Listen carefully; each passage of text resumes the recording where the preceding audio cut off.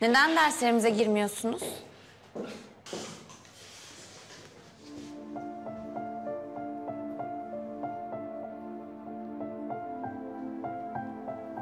Sen bana kur mu yapıyorsun Hande?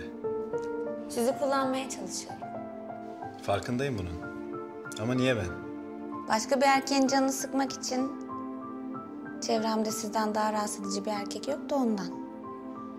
Bu bir iltifat mı? Sanırım.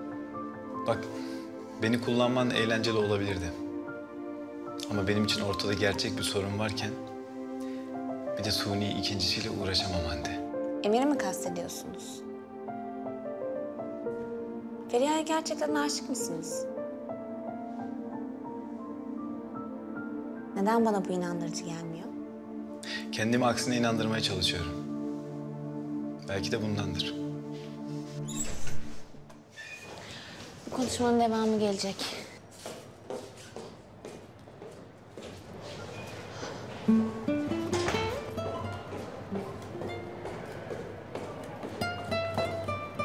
Ne yapıyorsun sen ya? Sen ne yapıyorsun?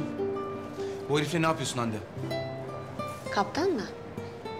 Hande yapma. Her ne yapıyorsan yapma. Neden? Neden yapmayayım Koray? Çünkü bu beni öldürüyor. Öl. Beni her gördüğünde bir daha öl. Beni öldürdüğün gibi sen de benim gözümün önünde öl.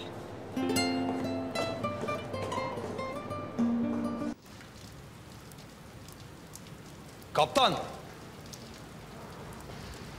Koray, biraz sakin ol ve beni dinle tamam mı? Sen beni dinle. Hande'den uzak dur. Bak, ne gördüğünü bilmiyorum. Ama gördüğün hiçbir şeyin benim için anlamı yok.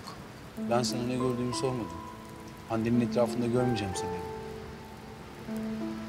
Sen boşanıyor musun yoksa? Hande'ye bulaşma kaptan. Sakın ulaşma. Bence karının yanına dön.